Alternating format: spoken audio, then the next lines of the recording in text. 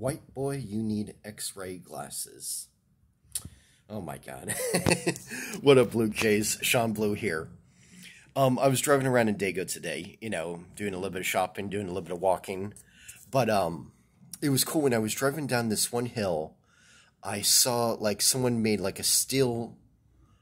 Um, it was all rusty at this point, but someone made a steel like kind of like monkey, like a like a gorilla, and um, he was climbing up a palm tree. They had him climbing up a palm tree. So when I'm driving down the hill, and I drove down this hill like at least once before, but like I, this is the first time I noticed him, and he was like climbing up the palm tree. They had this like gorilla look like he was climbing up a palm tree, and I was thinking, oh, that's cool art and stuff like that. That's like fun arts because it did look kind of like a like a tropical area. This part of Dago, and um, I was thinking, oh, okay, that's cool looking. And um, yeah, so it was just like a beautiful day. Apparently, it's going to rain later, but there's not a cloud in the sky. It's the the um, it's bright blue outside. It's not hot, but it is. Um, it's just nice. It's it's kind of warm, but it's also not too warm. You know, um, it was kind of like cool earlier, but um, it's okay now.